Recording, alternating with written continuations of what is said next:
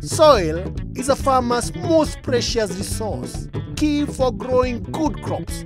But if you farm on slopes, then managing your soil can be a challenge. The rainwater can wash good soil off your hillside right down to the bottom of the hill. This washes your topsoil away. To stop soil erosion, make terraces on the hillside. Make a trench along the contour and throw soil on the upper side. The soil on the upper side slows the run of water and let it sink into the soil and stop soil being washed away. You can also plant trees or fodder crops such as napier grass along the contour. These will help hold your soil together on the hillside and protect your land from erosion.